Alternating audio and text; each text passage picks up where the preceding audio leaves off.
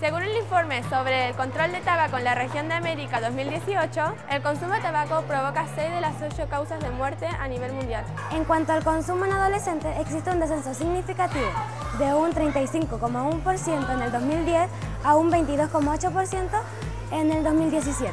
Esto va de la mano con la entrada en vigencia en marzo del 2013 con la Ley de Tabaco, Ley número 20.660, la cual aumenta las restricciones de consumo, venta y publicidad de productos de tabaco. Consideramos que la ley presenta vacíos al enfocarse principalmente en el espacio libre de humo, más que en la restricción de la venta. Nuestra propuesta es una moción agregándole a dicho artículo lo siguiente. Exigiendo la presentación de la cédula de identidad en el momento de vender productos de tabaco. Tenemos por objetivo principal prevenir la iniciación en el tabaquismo de los jóvenes de nuestro país, quienes inician entre los 14 y 15 años, son un público fácil de persuadir, ven el tabaco como un producto de consumo y no como un riesgo para la salud.